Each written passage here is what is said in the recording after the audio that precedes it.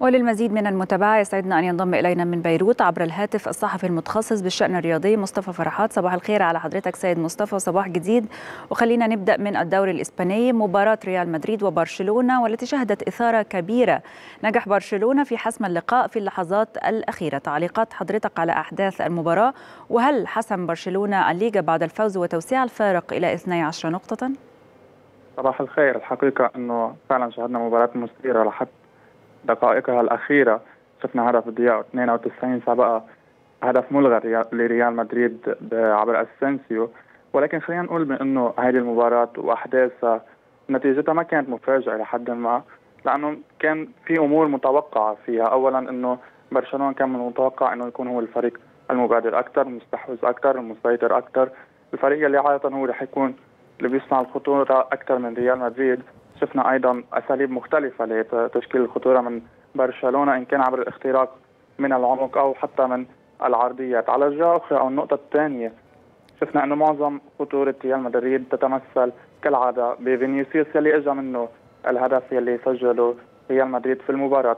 آه، الحقيقة أنه برشلونة بهذا الفوز قدر يريح نفسه نوعا ما من الضغوطات، اولا بأنه عاش شهر صعب آه، خروج من دوري الأوروبي. بعد ما كان أصلا خارج من دوري أبطال أوروبا وبالوقت نفسه قضية الفساد التحكيمي اللي ظهرت للفريق بالشهر الفائت بقضية نيجريرا فهذا الموضوع بيريح الفريق نوعا ما. بنفس الوقت ريال مدريد حاليا يعني ما بقى في شيء له غير دوري أبطال أوروبا لأنه تعطوا سعر الفارق بعد متبقي 11 جولة على النهاية. والنقاط على عدد النقاط يعني الفرق بين برشلونة وريال مدريد الآن هو 12 نقطة. طيب سيد مصطفى خليني أروح معك من الدوري الإسباني ربما إلى الدوري الإيطالي. نابولي أيضا بيواصل الانتصارات وفاز على تورينو كمان اليوفي على حساب الإنتر ولاتسيو طبعا حسم قمة روما. آه، عايزة يعني أعرف من حضرتك تابعت المباريات دي إزاي بالأمس؟ وتحليل سريع يعني لمباريات الدوري الإيطالي.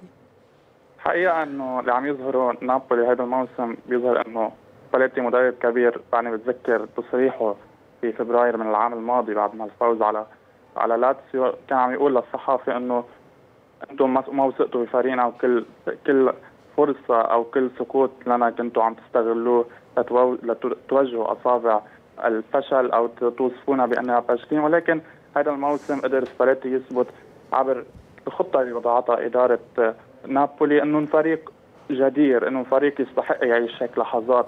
يعني شفنا من الفريق خرج منه آه، كوليبالي وخرج منه عدد من اللاعبين مثل إنسيني وميرتنز وغيرهم. ولكن قدر تم تعويضهم بلاعبين آخرين مميزين مثل كيم مين جاي المدافع الكوري. وأيضا قدرنا نشوف كفار تسخيلي عم يتألق مع نابولي. حقيقه إنه معظم مباريات هيدي الجولة نوعا ما صبت لصالح ميلان يلي تعثر قدام أودينيزي. فشفنا مباراة مثيرة أيضا من آه، انتر ويوفنتوس. كان في حديث عن إنه هدف في لقطات مشكوك فيها بالفار. بالوقت نفسه شفنا مباراة مثيرة أخرى من آه، ديربي روما بين لاتسيو وروما. كنا عم نشوف لاتسيو للمرة الأولى من 11 سنة عم يحقق الفوز آه، ذهابا وإيابا في الديربي وأيضا. ولكن من الأمور الغريبة بهالديربي إنه بالسنوات الأخيرة معظمها عم تكون مشحونة. عم نشوف مباريات يعني نوعا ما نوعية كرة القدم. لا تليق يعني بالرجوله لهيدي الديربي لأنه عم نشوف في مشاحنات خارج أرض الملعب.